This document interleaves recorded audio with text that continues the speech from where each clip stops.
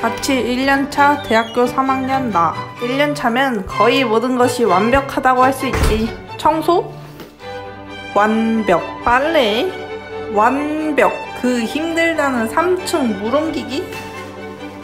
어쨌든 완벽 모든 게 완벽한 나의 자취 생활 그러나 하나 완벽하지 않은 월세값 아니 월급이 60만 원인데 월세가 55만 원? 생활비 5만 원 과자 하나 사는데도 벌벌 떠는 너무 불쌍하다 다들 이렇게 사는 건가? 엥? 엥? 원하는 지역에서 원하는 주택을 골라 장기간 거주 가능?